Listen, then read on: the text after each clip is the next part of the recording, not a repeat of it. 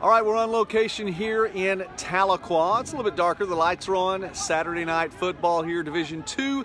MIAA football going on right now here in Tahlequah. Pitt State on top of Northeastern 21 to 7 as the Riverhawks got the only points on the board in the second quarter.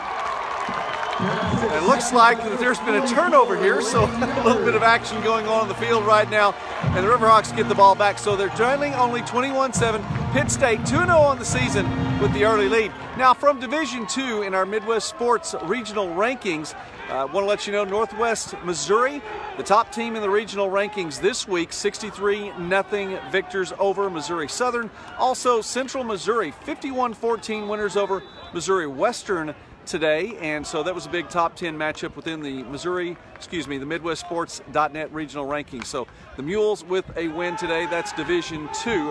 Harding also victors today in football. And by the way, from volleyball, one other report with this in-game update.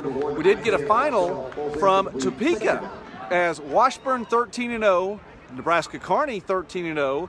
Both teams meeting up today. It was a clash of two undefeated teams and Washburn comes away with a four set victory in volleyball today, taking down the number one team in the country in Division Two. So the Ichabods 14 0 on the season. And that is this in game update from MidwestSports.net. I'm Joey McWilliams. God bless you. We'll be back at the end of this contest tonight.